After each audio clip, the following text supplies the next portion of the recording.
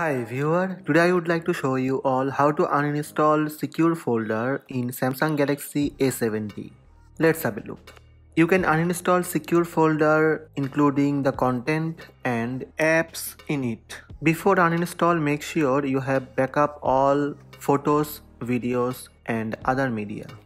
To backup photos and videos go to gallery, select all, tap 3 dots and move out of secure folder. Let's check how to uninstall secure folder. First, open settings app.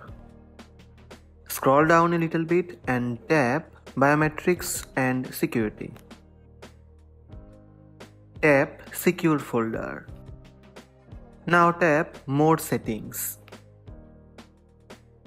Then tap uninstall.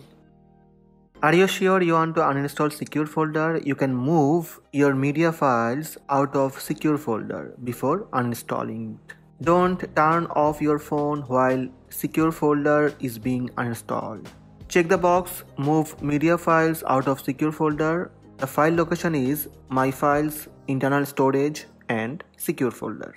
If you still want to uninstall secure folder, tap uninstall.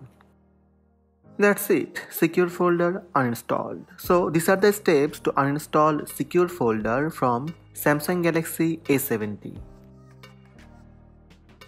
Hope this video help you. Please subscribe my channel by tap subscribe button. Also tap the bell icon to receive notifications about all new videos.